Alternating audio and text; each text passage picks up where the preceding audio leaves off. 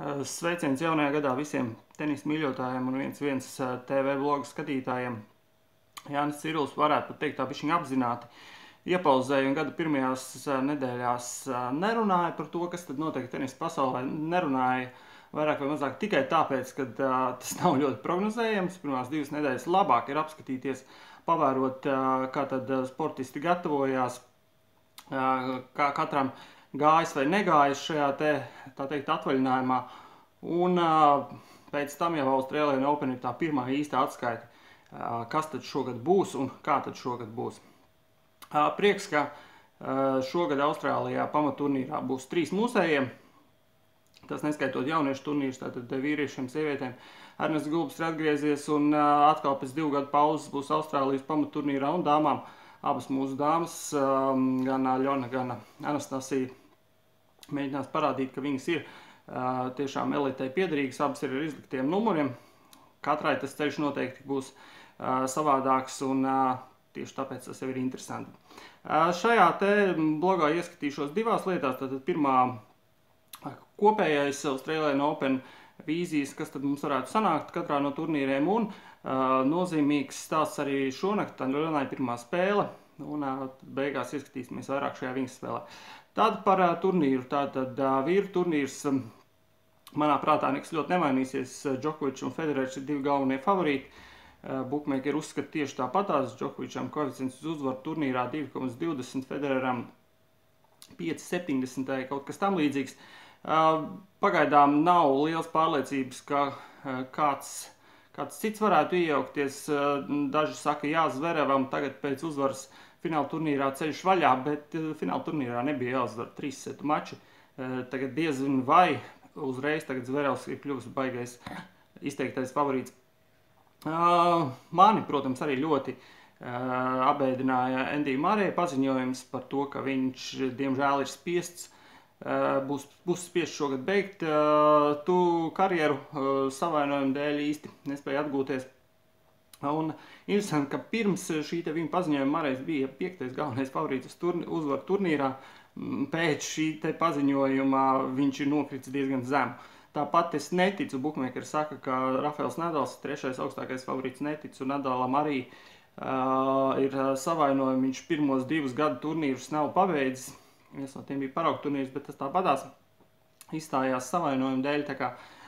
Neticu arī Nadalam. Tad varbūt atkal Čiličs, varbūt atkal Andersons, varbūt Nišikori. Bet vai uzvarēs kāds cits, ne Džokovičs vai Federers, ļoti, ļoti apšaubu šo stāstu. Dāmu turnīrā uh, Bukmēkeri saka Serēna un Kerbere, bet uh, manuprāt, uh, dāmas, kas var uzvarēt turnīru, ir vismaz desmit. Un uh, Bukmēkeri šogad uh, Austrālijā uzskata, ka tāda izšāvēja varētu būt Baltkrievietis Sabaļēnka, kas man arī ir liels pārsteigums. Viņiem Grenslam turnīros īsti nav spīdējusi un šobrīd šeku reku trešā galvenā favorīta aiz uh, Serēns Viljams un Anželiks Kerbers. Jā, varbūt tās skatāmies uh, divus, pēdējo divu gadu griezumā. Ir bijuši daudz jaunus čempionus, ir bijis šis te Aļonas Ostapenko neticamais stāsts ir bijis uh, Naumijos Sakas uh, brīnums, uh, kad uzreiz ir uzvarēts Grenslam turnīrs, bet Sabaļēnka, lai arī viņa ir pielikusi šī, šajā te psiholoģiskajā noturībā, es tomēr neuzskatu, ka viņa ir mm, trešā galvenā favorīta. Noteikti, ka ne īpaši turnīrā varētu iet ranga līderei Simonai Halepai, viņai arī grūti pirmā kārta pret uh, Igaunieti Kanepī. Tāpat veselības līkstas um, pērnā gada izskaņā uh, ar šo te paziņojumu nāca Karolīna Vozņackī, ka viņai nav viss kārtībā īsti ar veselību. Tā kā, nu, būs, uh, būs, būs uh, ļoti grūti prognozēt šo te dāmu turnīru, un tāpēc, jo tālāk tiks arī mūsu dāmas, jo, jo labāk. Par mūsu dāmām tātad pirmā sāks šonakt Aļona Stapenko, Viņai pretiniekos grieķiete, Sakarī. Mm. Daudz teica, ka varbūt tās Aļonai normāli izloz, lai tiktu līdz mazliet trešai kārtē, bet es būšu ļoti skeptisks. Es Aļonu neuzskatu par favorītu šajā mačā, un uh, viņas gatavība šai sezonai, nu, manuprāt, parādījās pirmajās divos turnīros, bezcerīgos zaudējumos gan Rumānietē Nikolesku, gan um, Austrālietei Bārtijai.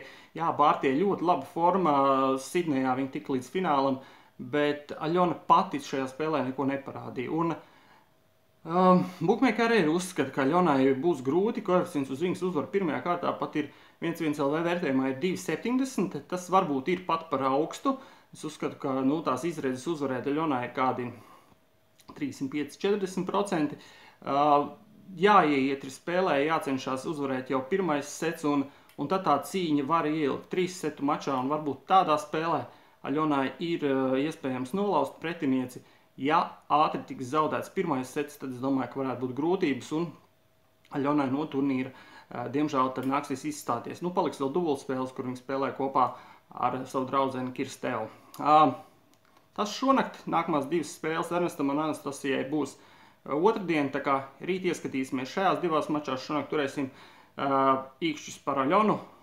Lai arī es neuzskatu, ka viņi uzvarēs īkšķus, turēšu tāpatās. Tā kā, lai izdodas!